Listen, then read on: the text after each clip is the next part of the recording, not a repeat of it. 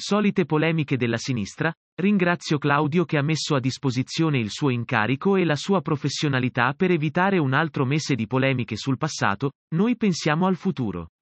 Così il segretario della Lega Matteo Salvini a Pinzolo, rispondendo a una domanda sulle dimissioni del sottosegretario Durigon. Fascismo e comunismo non tornano, io sono più preoccupato ha aggiunto degli sbarchi, di chi vuole tornare alla legge Fornero, di chi vuole la tassa patrimoniale o la tassa di successione. Quindi ringrazio Claudio che ha dato dimostrazione di amore per l'Italia e la Lega che altri di altri partiti non danno.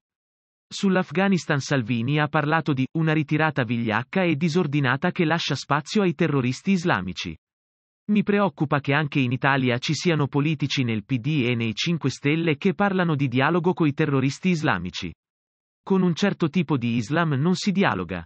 Spero che l'Italia torni ad essere protagonista, le porte dell'Italia sono aperte per donne, bimbi e ragazzi che scappano da quella guerra, ma non possiamo permetterci, a maggior ragione, migliaia di sbarchi di persone che non scappano da nessuna guerra.